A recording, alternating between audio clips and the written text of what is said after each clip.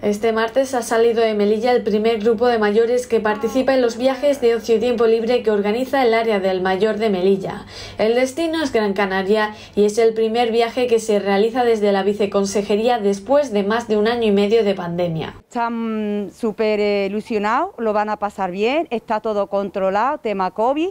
Ayer por la mañana todos los 53 personas mayores que viajan hoy se hicieron el test antígeno, todo negativo. A lo largo de los próximos días irán viajando varios grupos de 53 personas. Finalmente llegarán a ser unos 150 usuarios los que participen en estos viajes. Con nosotros viaja una chica que habla el castellano y el bereber para atender a todas las personas que lo necesiten.